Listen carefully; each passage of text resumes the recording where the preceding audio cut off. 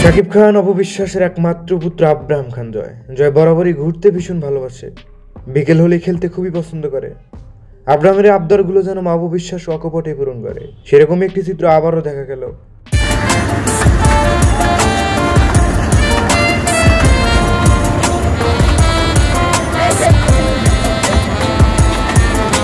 Abraham খান জয়কে নিয়ে শিশু পার্কে আনন্দ ভাগাভাগি করছে মা ছেলে এতে আব্রাহাম ভীষণ খুশি। অববিশ্বাসও সময়টা এনজয় করছেন ছেলের সাথেই।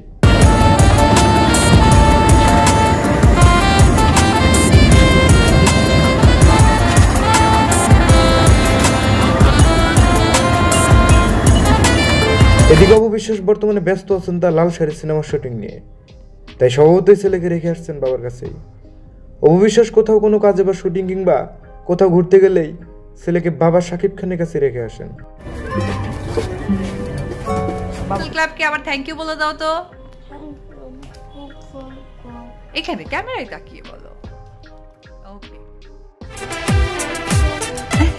এভাবে বলো। Thank you হোলসাল